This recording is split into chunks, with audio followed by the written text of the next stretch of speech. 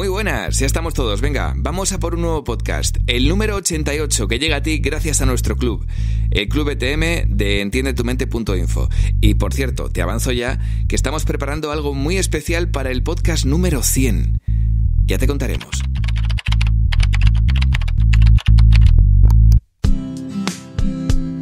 Entiende tu mente. 20 minutos para entenderte mejor. Con Molo Cebrián, Luis Muiño y Mónica González. Puedes conocerles mejor en entiendetumente.info.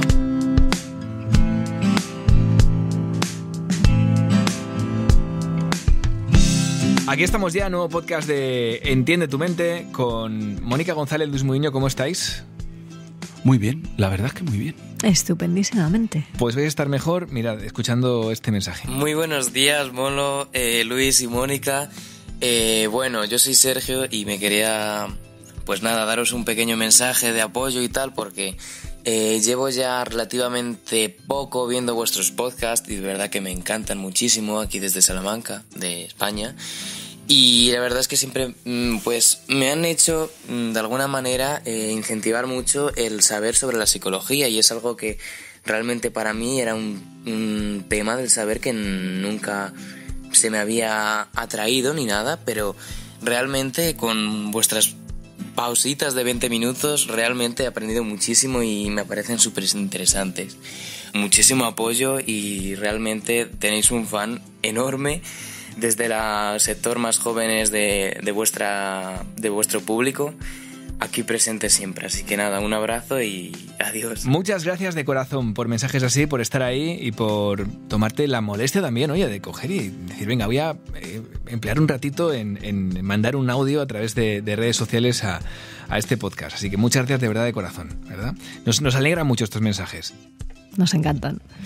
Y también, mira, nos, nos, gusta que nos propongas temas porque es la base de todo esto. Y aquí tenemos un mensaje que nos llega desde Sevilla, desde España.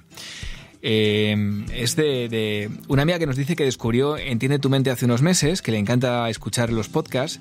Dice que es una de las oyentes que coge libretita para anotar las tips. Ojo, eh, que lo dijimos bueno. el otro día. Nos encanta. Y, y nada, pues un saludo también a, a, a, los fabricantes de libretitas que sabemos que están vendiendo más últimamente.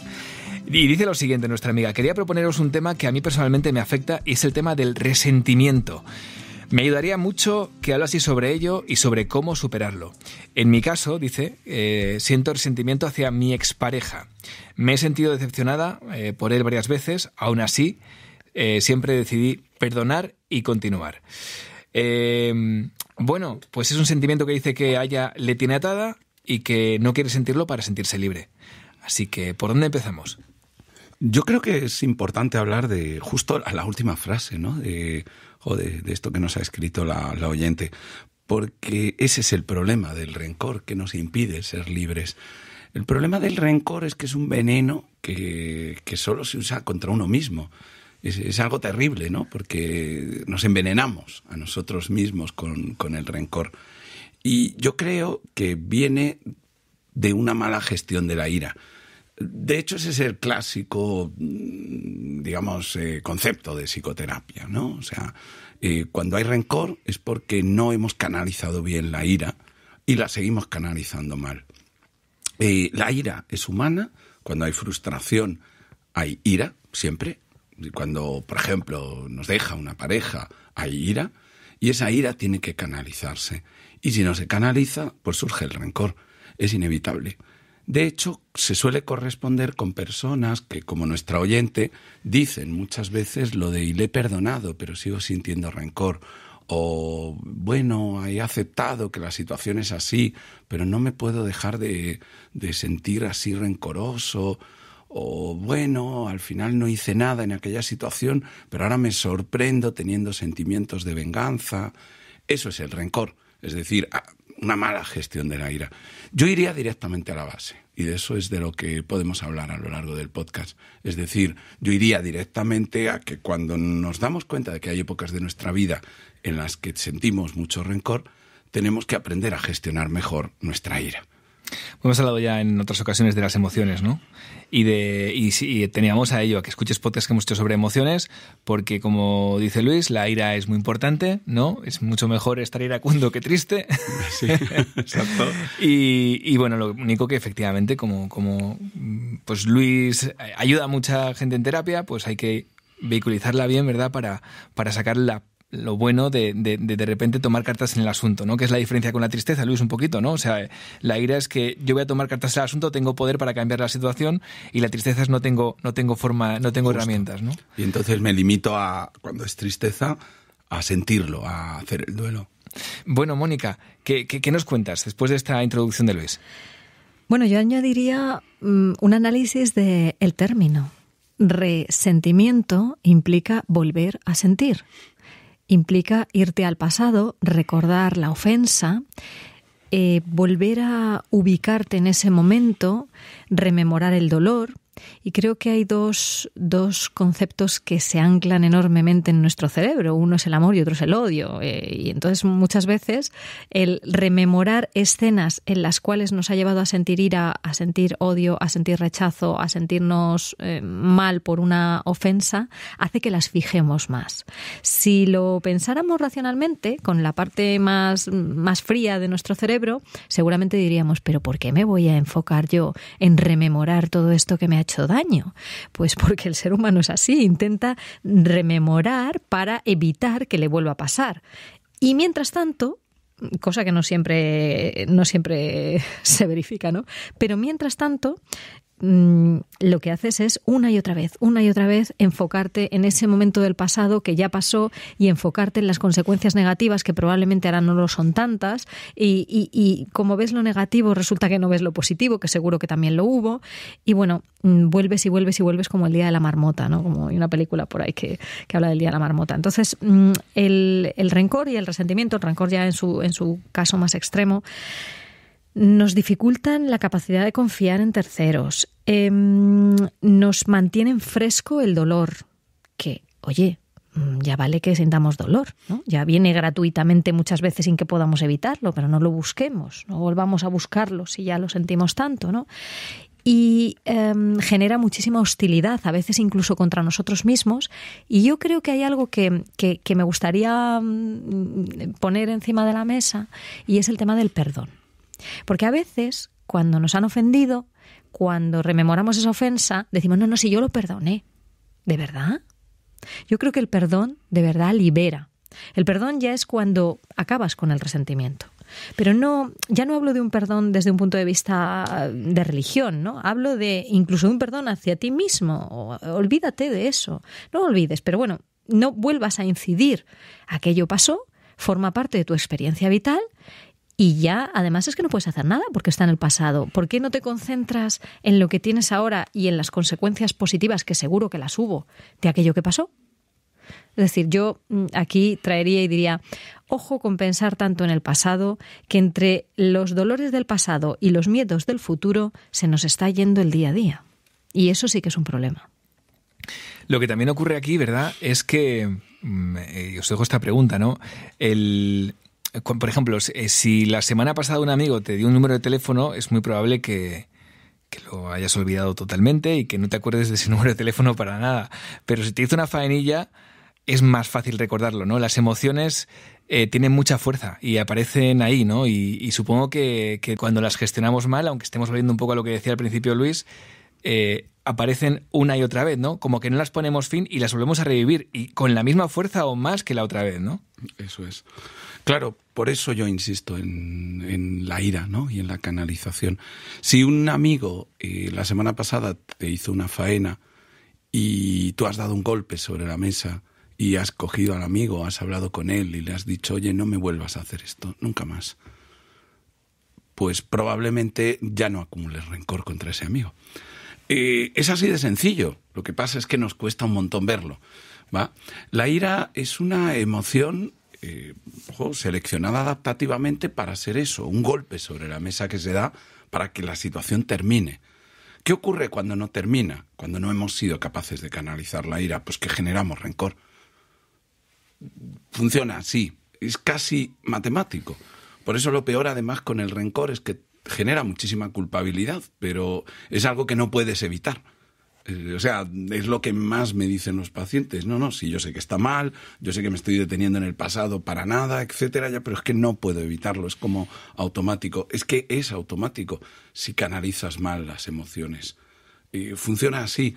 Es decir, si yo a este amigo no le he dicho nada, si yo me he callado, si yo he sido sumiso, si yo de alguna manera he salido humillado de esa situación, casi es inevitable que generen rencor. No hay mucho que hacer Tendrías que parar tu sistema límbico para conseguir no generar rencor.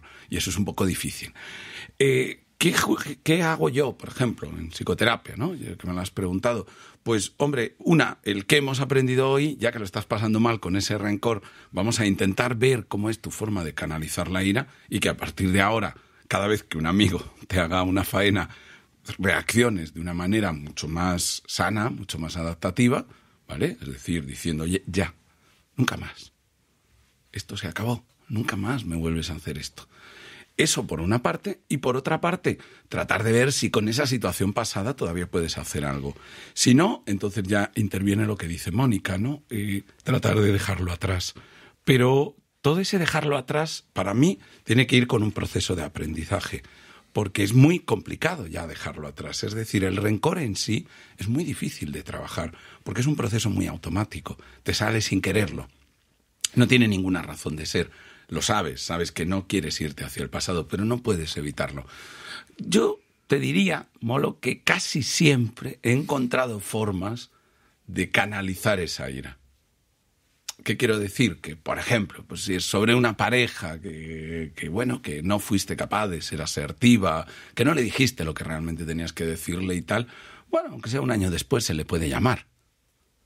Y eso es muy sano. Y eso libera un montón del rencor. Es decir, casi siempre hay algo que hacer con aquel rencor del pasado. Pero en todo caso, lo que te aseguro es que sí se puede hacer sobre el futuro. Pues nos quedamos con, esas ideas y ahora vamos a por las ideas finales. Así que venga, eh, como sabemos, amiga, que tienes un cuadernito, ¿eh? amiga Eva, pues sácalo, que nada, te vamos a dar unas ideas para que apuntes. Solo contarte que estamos preparando algo especial para nuestro podcast 100 y que la semana que viene te lo contaremos. Los primeros en saberlo serán los que formen parte de nuestra lista de correo o del club ETM. Nuestra lista de correo es gratuita y nuestro club es la zona premium con contenidos extra a la que puedes acceder por una pequeña cantidad mensual. Tienes toda la info en entiendetumente.info. Vamos allá. Tenemos a, nuestra amiga que nos proponía este tema con su cuaderno, que nos ha dicho en el mensaje que, tiene su cuaderno para apuntar las ideas finales. Y ahora es cuando Mónica y Luis nos dejan estas ideas finales sobre el resentimiento. ¿Quién nos deja la primera? Venga, Mónica, que tiene aquí su, mapa de, ideas eh, para, para compartirlas por aquí.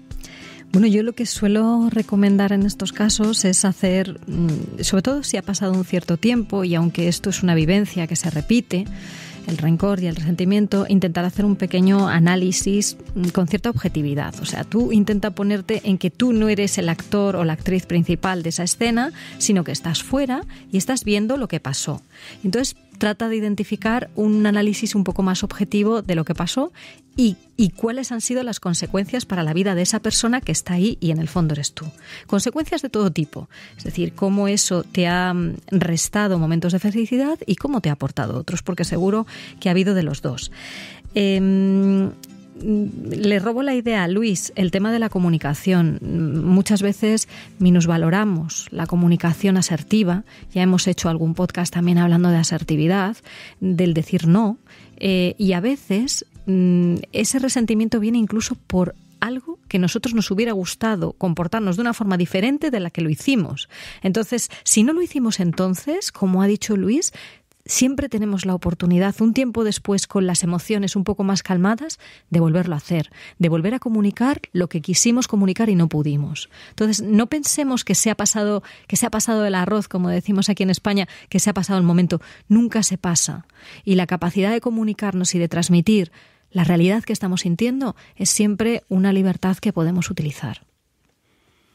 Luis, ¿qué apuntamos? En, que tengo aquí un huequito justo que me queda en el cuaderno. Tampoco me queda mucho, ¿eh? que se me acaba la página, pero ¿qué, qué, puedo apuntar por aquí? Bueno, como el rencor es algo visceral, a mí me gusta decirle a las personas así en psicoterapia que quizás te puede servir como reto darte cuenta de que si has perdido en una situación, te has sentido humillado, sentirte rencoroso te convierte en un perdedor mucho mayor. Es decir, la otra persona está de rositas, la otra persona está bien, está divertida, está feliz, y tú mientras tanto te estás comiendo tu propio odio. Eh, eso me gusta decirlo porque funciona como reto. Es casi como, vaya, le estoy rindiendo un homenaje al que me maltrató, casi, ¿no? Eh, sal de esto y sal por esto. O sea, sal por agallas, sal por vísceras, sal porque estás hasta las narices de ser el perdedor. Pues nos quedamos con estas ideas y, nada, estaba pensando ahora, me ha venido a la cabeza, no me digas por qué, un conocido entrenador de fútbol, pero bueno, no voy a decir el nombre. Eh, sí, sí, uno, ya te voy a decir quién, pero seguro que más de uno que es futbolero está pensando en el mismo. Eh, no entrena en España. Ya, ¿eh? Vale. Bueno, eh, bueno, al menos en el momento en que estamos publicando este podcast, que la vida en el fútbol da muchas vueltas. Eh, Mónica, Luis, mm, gracias por todo y hasta la próxima. Un millón de gracias. Gracias a vosotros. Y en el próximo podcast te presentaremos un proyecto muy bonito del que quien te habla forma parte. Si te ha gustado este podcast, compártelo. Puede que a alguien le venga bien. Y si quieres estar atento a todas nuestras novedades y no perderte ninguno de nuestros podcasts, síguenos en redes sociales y suscríbete a nuestra lista de correo en entiendetumente.info.